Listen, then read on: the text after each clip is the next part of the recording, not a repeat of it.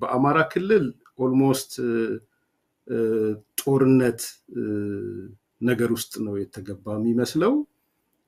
በተለይ ከትላንት ወዲያ ጀምሮ ትላንትናና ዛሬ የሰሜን ወሎ በቆቦ አካባቢ ጦርነቶች እየተካሄዱ እንደሆነ በመከላከያ ሰራዊትና በፋኖ መካከል የሚካሄድ እንደሆነ ሚዲያዎቹ በሰፊው እየዘገቡ ነው ያሉት። በከተማ ዙሪያ የሚካሄደው ጦርነት ከሞላ ጎደል በሞርታር በዲሽቃ እና የከባድ መሳሪያዎችም ጥቅም ላይ እንደዋሉ እንዲሁም የጦር አውሮፕላኖች ጭምር በአንዳንድ ሚዲያዎች ጦር አውሮፕላኖች፣ ድሮኖች ጭምር ጦርነቱ ላይ ውለው እንደሆነ የሚነሱ ነገሮች አሉ። የተለያየ ሚዲያ ሪፖርተርን ጨምሮ ስሰማ ነበረ በድምፅ ከባድ ነገሮች ነው እየሰማን ያለ ነው እና ይሄ ወዴት ነው የሚሄደው የሚለውን ነገር በአንድ በኩል ብንመለከተው ጥሩ ይመስለኛል። እንግዲህ ከዚህ ጋር ተያይዞ ጦርነቱ የተጀመረው ሁለት ነገሮች ከተከሰቱ በኋላ ነው። ምናልባት የተለመደ ነገር ስለሆነ ለሰው መንገሩ፣ አንደኛ ኢታማጆር ሹሙ ስለ ፋኖ ሰፊ ገለጻ ከሰጡ ማግስት ነው የተጀመረው። በነገራችን ላይ ሰው በደንብ ከተመለከተው፣ ሁለተኛ አብይ አህመድ ከኢትዮጵያ ከወጣ በኋላ ነው። አብይ አህመድ ከኢትዮጵያ ከወጣ በኋላ ብዙ ጊዜ ያው እንደ መንግስታዊ አሰራር ሁሉ የሚታይ የሚመስለኝ የሆነ ነገር ይከሰታል እና ኢታማጆር ሹሙ ስለ ፋኖ የሆነ የተናገረው ነገር ነበረ። እሱን ብዙ ሚዲያዎችን ውይይት አድርገውበታል፣ አይተኸዋል ብዬ አስባለሁ። እና ምንድን ያለው የብርሃኑ ጁላ ከፋኖ ጋር የሚያዋጋን ምንም አይነት አጀንዳ የለንም፣ የሚያጋጭንም ነገር የለም። ፋኖና መከላከያን የማጋጭ አንዳችም ነገር በሁለታችን መካከል የፖለቲካ ዓላማ ልዩነት የለም ነው እንደውም ያለው። እንዲሁም አብዛኞቹ ፋኖች ወደ ቤታቸው በሰላም ተመልሰዋል። በሃይማኖቱ አባቶች እና በሀገር ሽማግሌዎች ምክንያት።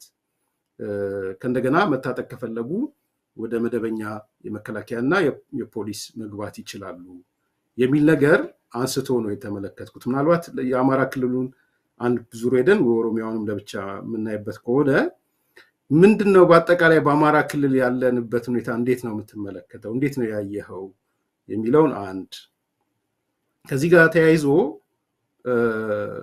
ወደ full scale ጦርነት እየተገባ ነው ወይ የሚል ኢታማዦር ሹሙ ከዋሸ በኋላ አሁን እንደዚህ በአይሮፕላን የተደገፈ ጦርነት ሲያደርግ ምንድን አስቦ ነው የሚል ሁለተኛ አንድ ላይ ጠቅልዬ ከጊዜ አንጻር ነው ስብስብ ስብስብ እያደረኩት ያለሁት።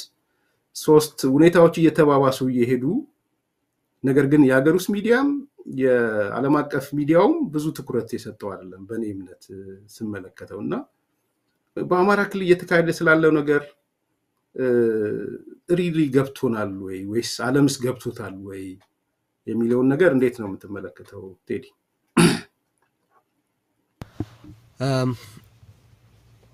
እነዚህን ነገሮች በየጊዜው ማንሳት በእውነት የሚያሳዝንም የሚደክምም ነገር አለው። ምንድን ነው አንዴ define ካደረግክ በኋላ ለምሳሌ አብይ አህመድ እዛ ቦታ ላይ እስከቀጠለ ድረስ የነበረ ግጭት ሊባባስ፣ አዳዲስ ግጭት ሊፈበረክ መሆኑ የማይቀር ነገር ነው። ይሄ የማስተዳደር መንገዱ ነው እንላለን ብዙ ጊዜ። አሁን በአማራ ክልል full scale የሆነ ጦርነት የሌለው በዛ በኩል full scale የሆነ የተኩስ ምላሽ መስጠት የሚችል ኃይል ስለሌለ ነው እንጂ የአብይ አህመድ ፍላጎት የተሟላ ጦርነት እንዲኖር ነው። አሁን ሁኔታውን ብታይ የአማራ ክልል ሁኔታ የሚታወቅ ነው። ኦሮሚያ ላይ ያለው በጣም እያደር እየከፋ የሚሄድ ነው። በትግራይ ክልል ውስጥ ያለው ሁኔታም የተረጋጋና መሬት የረገጠ ሰላም አለ ማለት አይቻልም። ስለ በማንኛውም ጊዜ ችግር ሊፈጠር ይችላል ተብሎ በሚታሰብበት ሁኔታ እንዲቀመጥ ነው የሚያደርገው። አሁን እዛ የፕሪቶሪያ ስምምነት ላይ በተፈረመው መሰረት እንኳን okay ነገሮች ወደ ነበሩበት ሁኔታ እንዲመለሱ ብሎ ሙሉ ትብብር የማድረግ ፍላጎት አይደለም የምታየው።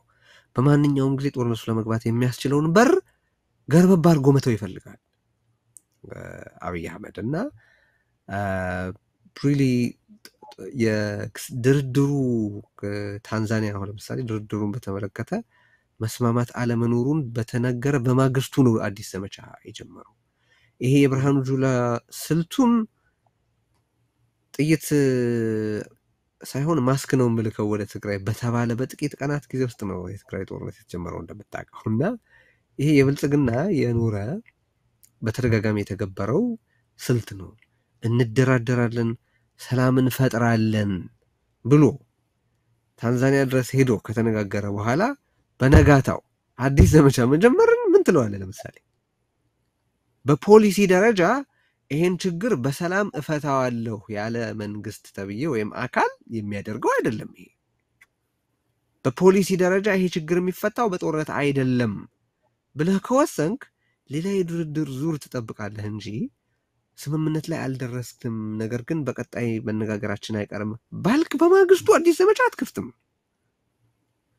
እና ይሄም ሰውዬ ወጥቶ ስለ ፋኖ ስለምን ስለምን ስለምን ከተናገረ በኋላ ልክ እዛ ጋር እዚህ ጋር እንግዲህ ተደራዳሪ ተብሎ የተባለ ነገር የለም፣ የቀረበም የለም። ግን ዞሮ ዞሮ እኛ ችግር የለብንም፣ ትኩረት እያደረግን ያለ ነው በወንጀለኞቹ ላይ እንጂ በዚህ በእንቅስቃሴ እንደ movement ከታየ በፋኖ እንቅስቃሴ ላይ አይደለም የሚል ሀሳብና መልእክት ነው ማሻገር የፈለገው። በነጋታው የሚሆነውን እያየህ ነው። I think ብናወራው ብናነሳው ምንም በቃ የማይለወጠው ሀቅ ይሄ ፓርቲ ተብዬ ወይም አብይ አህመድ ስልጣን ላይ እስከቀጠሉ ድረስ የዕለት ተዕለት ዜና ይሆናል። ቦታና መጠን እየለዋወጠ የዕለት ተዕለት ዜና መሆኑ ይቀጥላል ነው እና ለዚህ ነው አንዳንድ ጊዜ ምንም አዲስ ነገር የማትልበት ሁኔታ ይፈጠራል። እኔ ይሄ አንዱ ነው። አብይ አህመድ የጦር አበጋዝ የጦር አበጋዞች ክልል አረገዋለሁ የአማራ ክልልን ማለቱን ከሁሉ በፊት ዘግበናል። በነገራችን ላይ በሬዎት ከትግራይ ጋር ጦርነት እየተካሄደ በነበረበት ወቅት ነው የጠቀስ ነው። ይሄንን የክልሉን የጦር አበጋዞች ክልል አደርገዋለሁ ማለቱን አሁን ለምንድን ነው ቅድም ያነሳሃት ነጥብ ናት ለእኔ አሁን በጣም ትርጉም የምትሰጠው ለምንድን ነው ዓለም አቀፉ ሚዲያ ይሄን ነገር pick እያላረገው ያለው ለምንድን የሀገር ውስጡ ሚዲያ ለምን ትኩረት እየሰጠው እንዳለ ይታወቃል። ያው የመንግስትና አፍቃሪ የመንግስት ሚዲያዎች ከፍ ያለ chunk አላቸው በሚዲያው ላይ እነሱ ሳይዘግቡት ሲቀር የሚጎድል የሚዲያ coverage አለ። እነሱ በምን ምክንያት ያን እንደሚያደርጉት ይታወቃል። ዓለም አቀፍ ሚዲያው ግን ለምን pick አላደረገውም? ዓለም አቀፉ ህብረተሰብ ግን ለምን በጉዳዩ ላይ እየተናገረ አይደለም ካልክ ለሚዲያዎቹ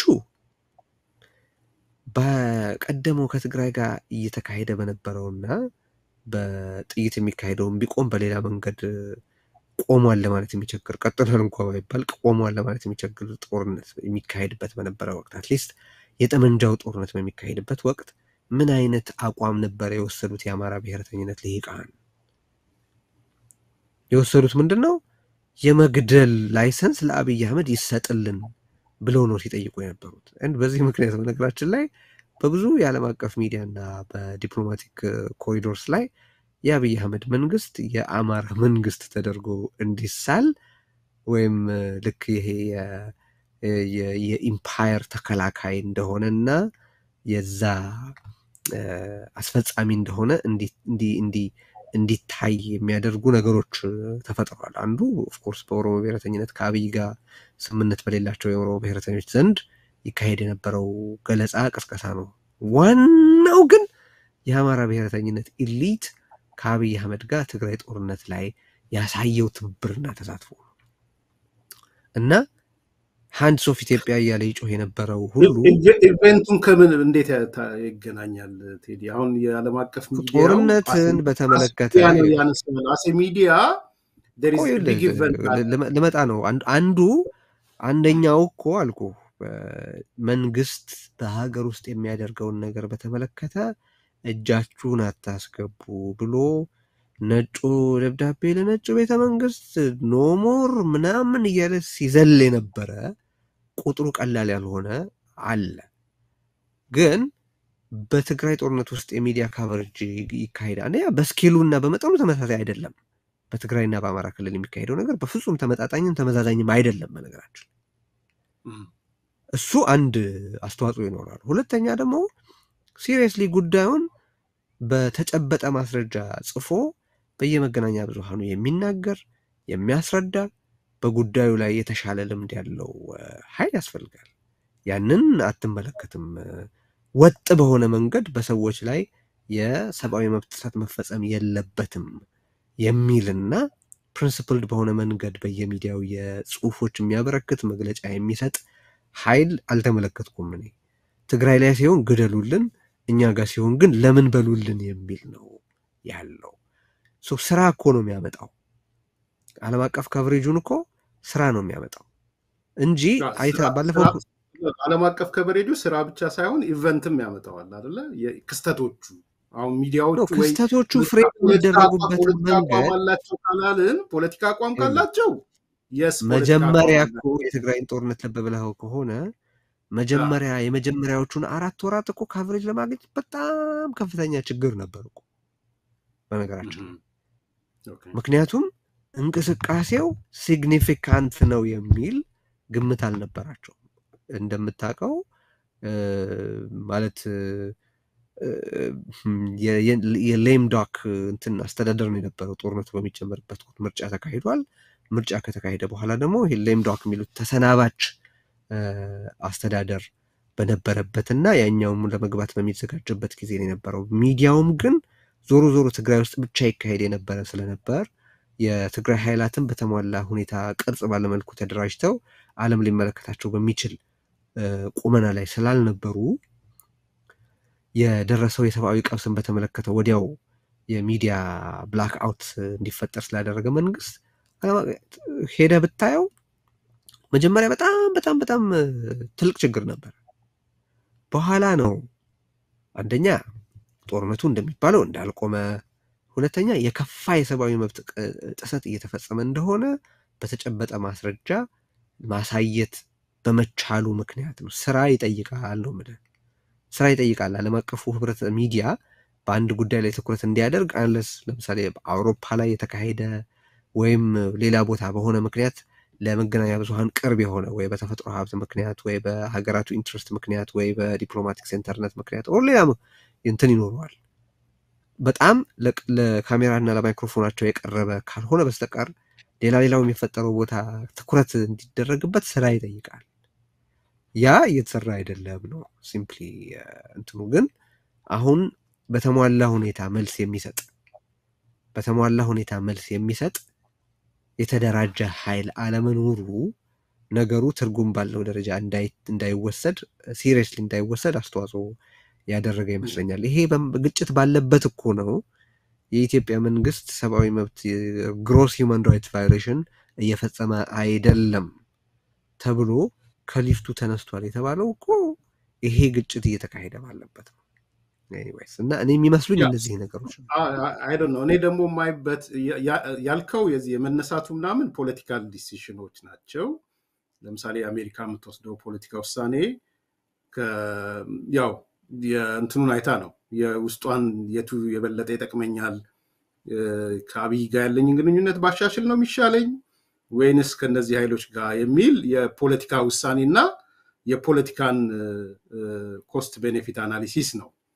ወደ ሚዲያዎቹ ግን ስትመጣ ትላንት የፈለገ ነገር ቢሆን event ክስተት እስካለ ድረስ ለምሳሌ የጦር አይሮፕላን ሄዳ መደብደቧን እየተመለከትክ ከሆነ ስለተነገረ በየሚዲያው ወይም ደግሞ ድሮኖች ሄደው ደብድበው እንደሚመለሱ አጥቅተው ወይም የሆነ ነገር አድርገው እንደሚመለሱ ከታየ ለሮይተርስ የኢትዮጵያ አየር ኃይል አይሮፕላኖች ወይ ጄቶች or ድሮኖች ደበደቡ ይሄንን አካባቢ ብሎ ለመዘገብ ምንድን ነው የፖለቲካ incentive እንትን የሚኖረው? ሮይተርስ or ቢቢሲ or ቪኦኤ ወይም ደግሞ proximity እና ኤርሚያስ proximity እና prominence የሚባል ነገር አለ በሚዲያ አሁን ይገባኛል እኮ እንትኑን ነው አሁን ክስተቱ ተደርጓል አልተደረገም የሚለውን ለመዘገብም የሚመለከቱት ነገር አለ ነው እያልከኝ ያለው? ወይ ለምሳሌ የትላንትና ቂማቸው ሚሊዮን ነገር እኮ አለ አለም ላይ አይደለም? ያ ሚሊዮን ከሚሊዮኖቹ ግን አንዱ ትልቁ ነገር ነው። አይ ለምሳሌ አብይ አህመድ ፕሮ አማራ ነው? ተብሎ ኦሮሚያ ውስጥ ኦሮሚያ ውስጥ እኮ ይሄ ሁሉ ውጊያ እየተካሄደ ለአራት ዓመት ስንት ጊዜ ነው ግጭት የተዘገበው ነው ስንት ጊዜ ነው በጣም ትንሽ ነው የተዘገበበት እንትን። ይህንን ነው የምልህ። እነዛ ነገሮች አስተዋጽኦ አላቸው ማለት ምን ያህል የሀገር ችግር ነው? ምን ያህል ማለት እንዴት ባሉ ኃይላት መካከል የሚካሄድ ነው? humanitarian crisis ኡ ምን ያህል ነው? fair ና እንትን ነው እኮ እያልኩ አይደለም ሚዲያ landscape ኡ። እየተቀጠቀጠ እኮ ትኩረት ላይ ሰጠው ይችላል ስለዚህ ስራ የሚያስፈልገው ነው ስራ የሚያስፈልገው ነው ማለት እየሆነ ያለውን በተከታታይ በተጨበጠ ማስረጃ ብለህ የሆነ ቦታ ላይ fact fabricate እንደምታደርግና እ፣ ለሁኔታው ተአማኒ የሆነ ማለት credible source እንዳይደለህ የምትታሰብበትን ችግር ከፈጠርክ በነገራችን ላይ ጉዳቱ ለረዥም ጊዜ የሚዘልቅ ነው ነው የምልህ። at end ነገሩን የሚወስኑት እኮ በሚዲያ ውስጥ ያሉ ምልህ የዜና ወይ የሌላ ዝግጅት የሚመሩ ሰዎች ናቸው ውሳኔውን የሚወስኑታል። ይሄ ነገር cover መደረግ አለበት የለበትም የሚለውን የሚወስኑት እነሱ ናቸው። እነሱ ደግሞ በሚቀርብላቸው መረጃ ማስረጃ እና ከዛ ቀደም በነበራቸው ክሪዞ ፖሊሲ ላይ ተመስርተው ነው እና እኔ እሱ ታሳቢ መደረግ ዝም ብሎ አይደለም። አሁን ብዙ ሰው ኢትዮጵያ እንድትፈርስ ስለሚፈልጉ ነው የትግራይን ጉዳይ የሚዘግቡት ምናምን ምናምን ይላል። ይሄ መጨረሻ ዋጋ ቢስና የማይረባ የክርክር እንትን ነው። በትግራይ ውስጥ ያለው crisis በባህሪው በየትኛውም የኢትዮጵያ ክፍል ከተፈጠረው ይለያል የሚል አለ። አባባሎች አሉ። እና እነዚህ ለሚዲያዎቹ ይሄ ገፊ ነው ወይ? እኔ እኮ እሱ ነው ያነሳ ያለሁት። አማራን ስለማይወዱ ነው ኢትዮጵያ ልትፈርስ ስለሆነ ነው ወይም እንደዚህ ስለ ጮሁ ነው የሚለው ነገር ነው ወይንስ scale of war አንድ ሊያዩ ይችላሉ። ቅድም ያነሳው አንዱ የሚግባባው ነገር scale ኡ ምን ያህል ነው። ነገር ግን at least የሆነ ተሽከርክራ የታየች አይሮፕላን ጄት or ድሮን በታየችበት ለዘገባ ብቁ የማይሆንበት ምክንያት ምንድን ነው? anyway የዓለም አቀፉን በዚህ አጭር አስተያየት ስጥና ወደ ራሳችን ግን እንመለስ። እኛስ የሚለውን ነገር የተወሰነ ነጥብ አነሳለሁ፣ አጠቃለሁ። ያ እንደሱ ነው የማየው እና ስራ የሚጠይቅ ነው። ዝም ብሎ በአንድ ክስተት በመከሰቱ ምክንያት በሚፈለገው መልኩ መልኩ coverage ያገኛል ማለት አይደለም እና እሱን ከግምት nuanced የሆነ ነገር እንዲኖር ነው እኔ እያነሳው ያለሁት ዝም ብሎ ወዲህና ወዲያ ማለት ይሄ ስለሆነ እንዲሆኗል ይሄ ስላልሆነ እንዲህ አልሆነም ከሚለው ውጭ ኑዋንስድ የሆነ መረዳት እንዲኖር ለማለት ነው። ከዚህ በዚህ ጉዳይ ላይ የተለየ ከዚህ በላይ የምጨምረው ነገር የለም። በእኛ ደረጃ እንመልከተው ማለት እኔም ማስተያየት ልሰጥበት የምፈልገው እንደ አሁን የምንመለከተው ነገር በአንድ በኩል ስኬሉ እያደገ ሄደ። ስኬሉ እያደገ ስንል ትላንት ቢያንስ የተወሰነ የምንሰማቸው ነገሮች ነበሩ። አሁን ደግሞ የምንሰማቸው ነገሮች እየከፉ እየከፉ መሄድ ጀመሩ። ሞርታር መስማት ጀመርን። የተራራ ላይ ውጊያ መስማት ጀመርን። የጦር አይሮፕላን መስማት ጀመርን። ድሮን መስማት ጀመርን እና ይሄ ነገር እያደገ እንደ አገርም አሁን it's not only የአማራ ክልል ወይ አማራ ስለሆነ ሳይሆን ነገሮቹ እያደጉ ሄደው ለሁለተኛ ዙር ምናልባትም the second round genocidal war እኔ ብዙ ጊዜ genocidal war የምለው የዚህ power ኡን consolidate ለማድረግ ትግራይ ውስጥ እንደዛ ተፈጸመ። አሁን ወደ አማራ ክልልም ተመሳሳይ ነገር ለማድረግ እየተኬደ መሆኑን እያየን አይደለንም ወይ? ውሃ ሲወስድ እያሳሳቀ ነው እንደሚባለው ከትንሽ ነገር የተመለከትናቸው ነገሮች እያደጉ scale ኣቸው መጠኑም እያደገ የሄደበት ነው። አንድ የክልሉ ሰው ብቻ ሳይሆን በአጠቃላይ ማህበረሰቡ ሊያሳስበው stop the war ጦርነት ይቁም ወዘተ የሚለውን ነገር ማድረግ የሚቻልበት ነገር መምጣት የለበትም ወይ ነው አንደኛው። ሁለተኛ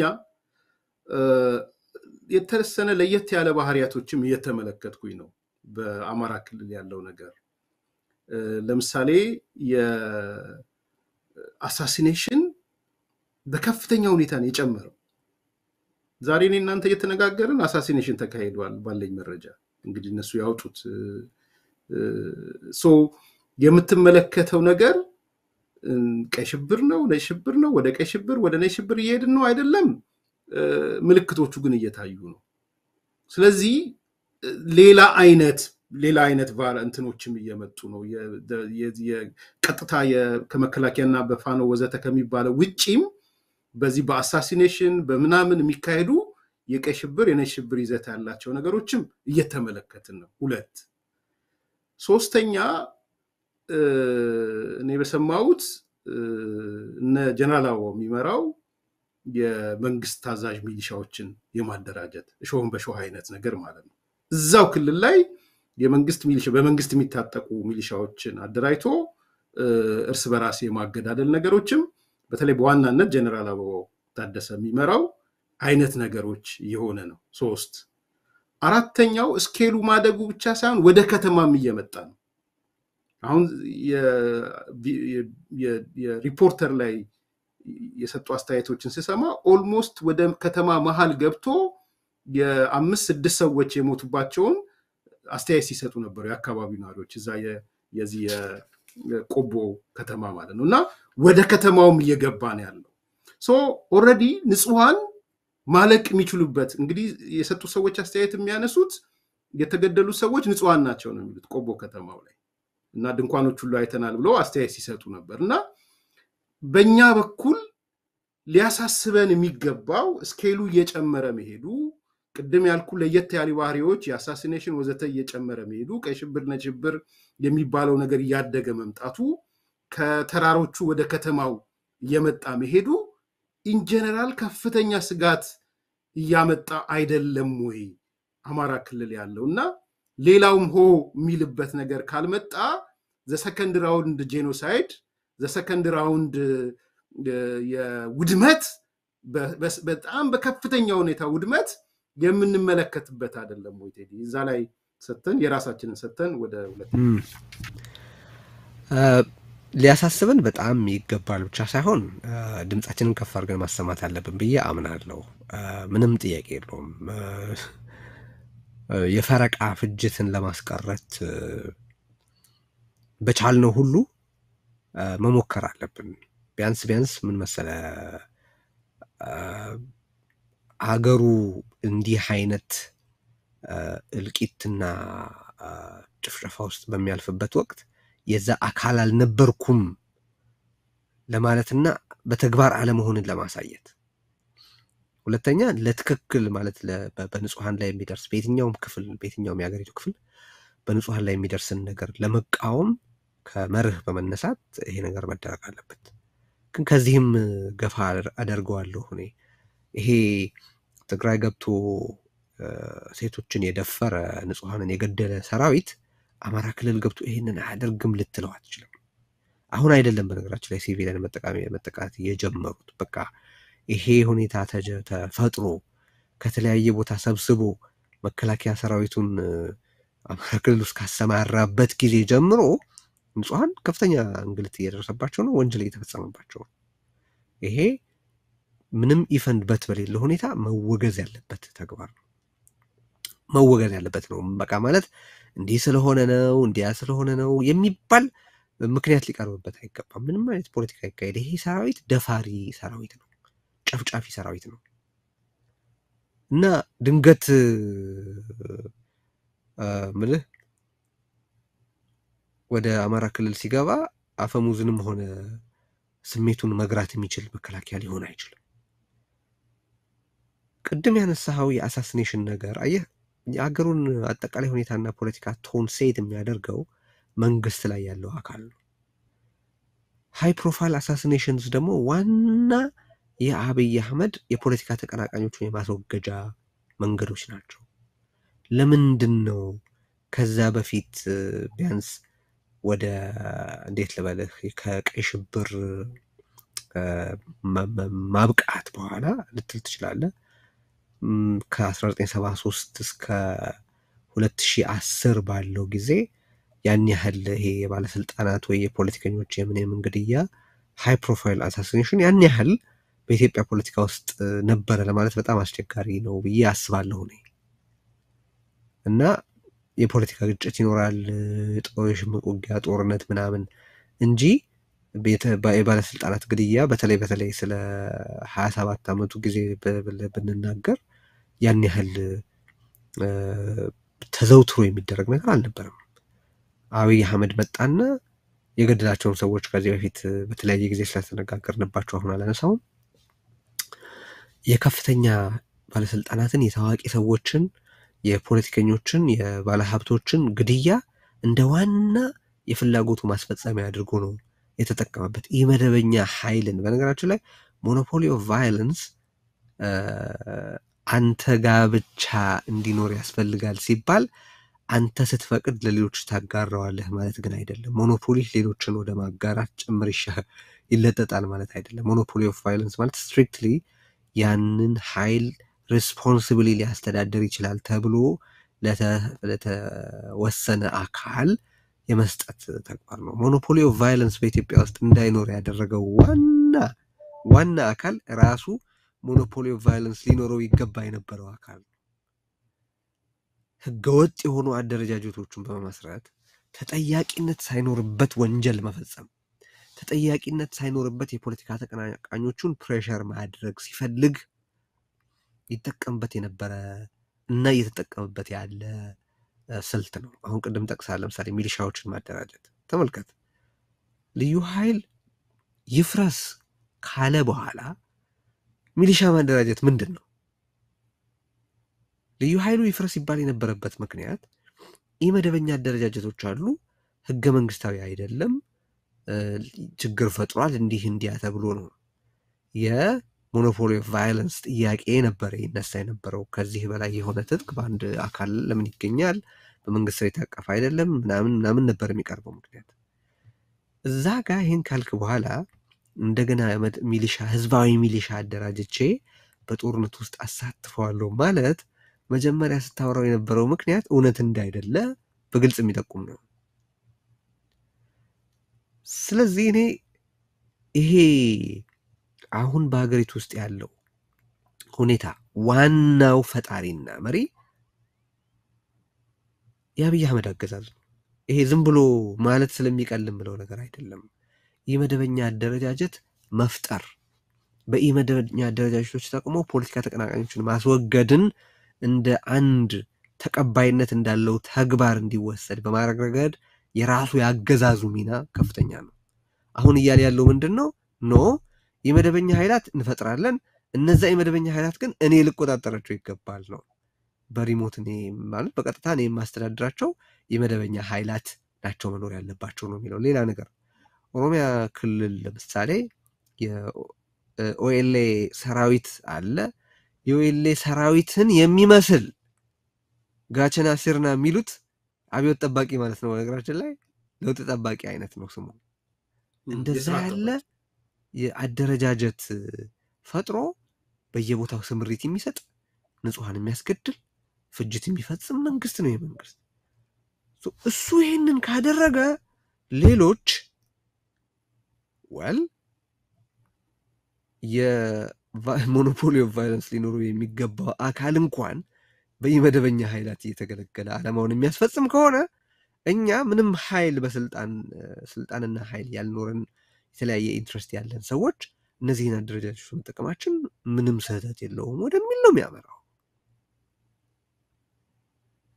ስለዚህ አሁን በየዕለቱ ቅድም አንስተህ ነበር ለምሳሌ በጣም ብዙ ነገር ነው እየተከሰተ ያለው።